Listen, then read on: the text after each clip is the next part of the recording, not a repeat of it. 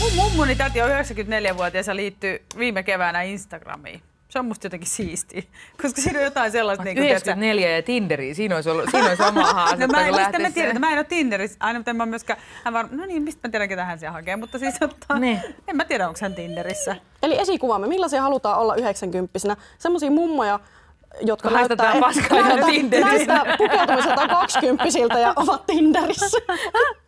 much sport around my place.